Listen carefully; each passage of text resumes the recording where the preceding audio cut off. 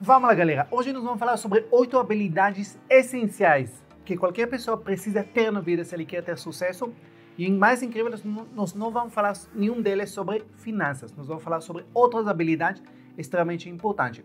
Essas habilidades talvez é difícil aprender, mas eu posso garantir para vocês que eles vão te pagar muito ao longo da vida, ok?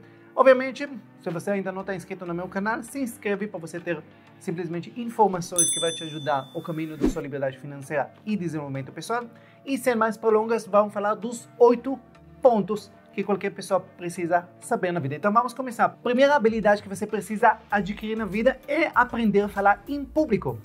Isso quer dizer que você vai precisar saber expressar as suas opiniões, as suas ideias, e isso vai servir em tudo na sua vida não somente aprender a palestrar. Dizem que o medo de palestrar, estar na frente do público, é maior do que o medo de morrer para muita gente. Eu não acho que isso é grande coisa. Eu sei que muitas pessoas que se consideram tímidos realmente têm um pavor, mas eu falo para você que qualquer pessoa pode, com um pouco de prática, superar isso.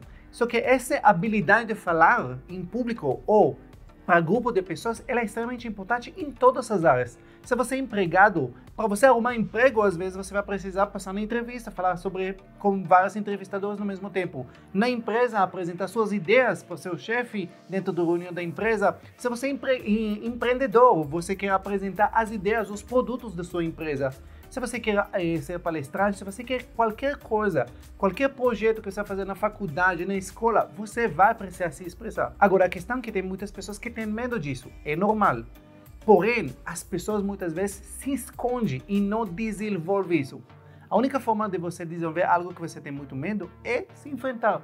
Talvez você não vai ser um grande palestrante, mas com certeza você vai melhorar e isso vai ajudar você a vida toda. Segunda, tenha confiança em si mesmo. Sabe aquele fogo interno de você acreditar em você que você vai conseguir, que mesmo que os outros não fizeram, você vai conseguir, que mesmo que ninguém na sua família ainda atingiu aquele objetivo, você vai ser o primeiro, porque tem muitas pessoas que vê obstáculos em tudo. Você, se você tem autoconfiança, você vai ver oportunidade nas coisas. Isso é essencial para você ter sucesso. Dizem que não existe rico desanimado, rico pessimista. Sim, é verdade. Se você não acredita não em você, não acredita em nada, desanimado com tudo, vai ser muito é, difícil você evoluir na sua vida. Só que agora eu vou falar para vocês do terceiro ponto, que ele é contrária do segundo ponto. Olha que interessante. Se é o segundo ponto, a gente fala que você tem que ser extremamente autoconfiante, acreditando em você mesmo, no seu potencial, que você vai crescer, que você vai evoluir, que você vai vencer. O terceiro ponto fala exatamente o contrário. Não o contrário, mas é complemento. Seja honesto com você. Isso é extremamente importante. Saiba seus pontos fortes e também saiba seus pontos fracos. Não se auto-engana. Muitas vezes eu tendo muitas vezes que eu faço mentoria, que eu converso com pessoas, eu vejo a pessoa contando que eu sou assim, que eu sou. E muitas vezes não tem nada disso, na verdade. Essa é uma história que ele está contando para ele mesmo, que ele é muito bom naquilo, que ele faz isso, e muitas vezes faz tudo errado. Mas, por ser arrogante, por não ter, eh, talvez, autoestima alta demais que não combina com aquilo que ele realmente é, ele vai para autoenganação. Só que se você auto-engana, isso já não é confiança, isso é auto-enganação. Você acha que você sabe alguma coisa e se você acha que você sabe alguma coisa que você não sabe, isso é um problema sério, porque você não vai admitir que você vai precisar aprender, que você vai precisar evoluir. Então, de um lado, a habilidade de ter confiança que você vai conseguir, mas de outro lado, reconhecer que tem coisas que você precisa ainda melhorar. E esse ponto, se não se enganar, não se achar que você sabe coisas que você não sabe, reconhecer quando você tem fraqueza, reconhecer quando você precisa de ajuda para poder evoluir, é extremamente importante. Então vamos lá, vamos entrar agora no quarto ponto. O quarto ponto, aprenda a escutar. O que, Sim, aprenda a escutar. Nelson Mandela, que é considerado por todos eh, o maior exemplo de liderança. Tem várias líderes, em toda nação elas têm os líderes delas, e às vezes uma nação considera diferente um pouquinho os habilidades ou atributos para um líder. Nelson Mandela foi reconhecido mundialmente como um dos maiores líderes da história, e perguntaram para ele qual é o segredo da liderança, quais as coisas que ele atribuiu mais para ser um bom líder ele contou a habilidade de escutar. Ele conta a história que quando ele era menino, ele, ele era filho de uma um chief, chief de, de líder de um tribo. Ele conta que sempre ele acompanhava o pai dele nas reuniões quando reuniam com os outros tribos. Ele contou que sempre as reuniões foram da seguinte forma: todo mundo se sentava em ciclo e o pai dele sempre, sempre falava por último. Olha que interessante. Quando você fala por último em uma reunião, reunião dentro da sua empresa com seus colaboradores, quando você fala por último, você mostra duas coisas extremamente importantes. Você ganha duas coisas extremamente importantes. Primeira coisa, você mostra para todo mundo que, importa, que a opinião deles é importante. Quando você vem para o reunião e já fala... Então, gente, não temos problema isso, eu acho que a gente precisa fazer isso. O que, que vocês acham? Uh -uh, já perdeu. Primeiro você vem na reunião e simplesmente escuta. Você, primeira coisa, quando você escuta todo mundo, você dá para eles importância, porque eles realmente conseguem se expor o que, que eles acham sobre aquele assunto. A segunda coisa, quando você ouve todo mundo, você sabe o que todo mundo pensa, isso é muito mais fácil para você elaborar as opiniões e as respostas certas depois que você viu todo mundo. Só que agora presta atenção. A verdadeira habilidade de escutar é conseguir, presta atenção, guardar opinião para você. Isso quer dizer que quando você conversa, talvez só como uma pessoa, não precisa ser em reunião. Quando a pessoa expõe a opinião dele, primeira coisa você escuta. Só que quando você escuta, você não fala sim, sim, sim quando você concorda e também você fala não, não, não quando você não concorda. Você simplesmente escuta. Escuta o que a pessoa fala. E faz o que durante a conversa? Faz perguntas. Perguntas para quê?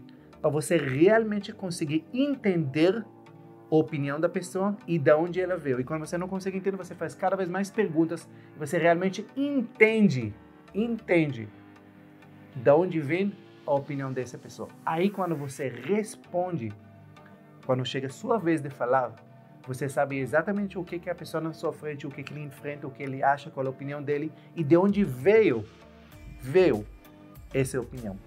Parece simples, mas não é é a habilidade de realmente escutar e depois se expressar. Quinto ponto, administra bem seu tempo. O bem mais precioso que nós temos hoje é tempo. É o único bem que você não pode recuperar. Você pode recuperar dinheiro, você pode recuperar sua casa, você pode recuperar sua conta bancária, você pode recuperar tudo. Tempo que vai embora, você não recupera. E hoje nós somos, eu acredito que é a geração mais ocupada na história. Eu acho que nunca nenhuma geração não tinha tantas distrações e tantas coisas que roubam o tempo todo, o tempo dele. Se você pensa no trabalho, no filho, no relacionamento, na televisão, na mídia social, nos estudos, tudo mostra que você tem 500 coisas para dividir o seu tempo. E acontece que pesquisas mostram que 80% do tempo nós não somos produtivos, nós gastamos, nós passamos nosso tempo e apenas 20% do tempo nós realmente aproveitamos o tempo para desenvolver, para ser produtivo e trabalhar nossas habilidades. Pensa comigo, 80% do único recursos que você não pode recuperar, você desperdiça. Trabalha em cima disso. Trabalha focado que realmente o tempo de você não vai ser desperdiçado, porque ele nunca mais vai poder voltar. Próximo ponto, sexto ponto, um ponto tão óbvio, para de reclamar. Reclamar quer dizer que você está pedindo novamente a mesma coisa, para de criticar, para de ser negativo. São habilidades extremamente péssimas para quem quer crescer. Quando você reclama, você não assume a responsabilidade. Quando você critica, você joga a responsabilidade para os outros. Quando você é negativo, você nunca evolui, você nunca procura solução, porque você sempre vê que o problema está com os outros, o problema está com o país, o problema está com a situação, o problema está com a economia. Para de reclamar e começa a agradecer, começa a procurar onde pode melhorar, onde pode conseguir mais. Sétima habilidade. Isso é uma habilidade extremamente importante. Aprenda a viver no presente. Quando você vive no passado, você se torna depressivo. Quando você pensa o que você tinha, o que você era, o que tomaram de vocês, é depressão. Quando você vive no futuro, isso gera ansiedade, porque o tempo todo você pensa: o que, que vai acontecer? Será que vai acontecer? Será que vai conseguir? Será que vai dar certo? Isso gera o tempo todo ansiedade. A única dádiva na vida é viver no presente. No presente, nós temos controle. A gente não tem controle do que foi e não temos controle do que vai acontecer, mas eu temos controle hoje. Hoje, muitos estudos mostram uma conexão muito forte entre felicidade e pessoas que conseguem viver no presente. Pessoas que sempre vivem em outros tempos. São muitas vezes não são felizes. E as pessoas conectam felicidade por pela vida que você tem e é totalmente errado. Muitas vezes não tem nada a ver com a vida que você tem. Muitas vezes descobriram que tem pessoas que são extremamente felizes e eles vivem as maiores tragédias da vida deles. Às vezes, pesquisas mostraram pessoas que saíram do Holocausto, que sobreviveram ao Holocausto e eram muito mais felizes do que pessoas que simplesmente tinham tudo na vida. Essas pessoas encontraram uma forma de ser feliz, uma forma de ser grato pela vida que tem. E uma das coisas que a gente pode controlar para ter, para viver no presente e ser feliz, é simplesmente controlar nossos pensamentos. E como a gente faz isso? Quando você, os seus pensamentos, nós somos 100% responsáveis pelo que a gente pensa. Às vezes, talvez não é responsável diretamente daquilo que a gente sente, mas aquilo que a gente pensa, aquilo que a gente nos alimenta, a gente é responsável. E o que podemos fazer? Você simplesmente, essa é uma habilidade de colocar o tempo todo seus pensamentos no presente. Quando você começa a pensar no passado ou começa a pensar no futuro, você faz uma pausa e fala: peraí, esquece, não posso mudar nem o passado nem o futuro, eu posso focar em que, que eu tenho agora. E essa é uma habilidade de como você começar a apreciar o momento presente que você está. Começar a agradecer aquilo que você está Agradecer pelo momento. Se você está no almoço, muitas vezes você está almoçando, mas está pensando nos problemas no trabalho, está pensando em problemas no conjugal, está pensando com. Esquece. Se você está almoçando agora, foca no almoço. Aprecie a comida, aprecie a conversa, aprecie a companhia que você tem, caso você está almoçando com outras pessoas. Foca nesses momentos, porque a única controle que você tem é o que está acontecendo nesse momento. Esquece as coisas. E cada vez que acontece que você está começando a viajar na cabeça, pensando nos problemas, o que, que vai acontecer no hoje, o que, que vai acontecer daqui uma semana, esquece. Volta para o presente e foca o que você tem controle. Foca em que você pode apreciar nesse momento, que você pode agradecer nesse momento. Eu estou bem, estou vivo, meus filhos estão bem, meus... Foca naquilo que você tem naquele momento. E a oitava coisa, essa é uma habilidade que você nunca vai conquistar nada na vida, se você não vai ter ela bem instalado em você é a consistência. Consistência em tudo que você faz. Muitas vezes a gente vê as pessoas bem-sucedidas, velhas lá no topo, mas você nunca imagina o caminho que eles passaram. Você vê o sucesso hoje, mas você não entende que são a consistência que ele tinha, acumular pequenas disciplinas, pequenos sucessos durante anos e anos e anos, pequenas disciplinas repetidas, é que levou ele para cá. Tudo que você fizer na sua vida, você vai precisar ter consistência. Tudo que você vai querer construir de verdade, você vai precisar ter consistência. Nada é construído em um dia, nada foi conquistado pelo talento, nada. Tudo foi construído com pessoas que colocaram tijolo por tijolo e um dia construíram um grande castelo.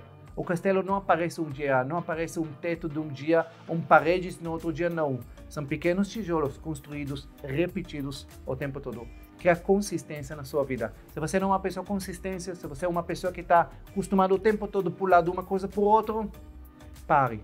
Escolha o que vale a pena na sua vida e foca nisso. E seja consistente até que você vai conquistar aquilo que você queria naquele assunto. Essas são as oito habilidades. Não são habilidades fáceis de aprender. São habilidades que requerem praticamente uma vida de estudo mas quando você começa a entender que as habilidades de sucesso, elas são adquiridas, habilidade de sucesso você pode aprender a desenvolver, isso já é a primeira caminhada para se tornar uma pessoa bem-sucedida em todas as áreas da sua vida. Se gostou, curte, compartilha com outras pessoas e comenta quais as outras habilidades que você acha que são necessárias para realmente ter sucesso na vida. Um beijo no coração e até o próximo.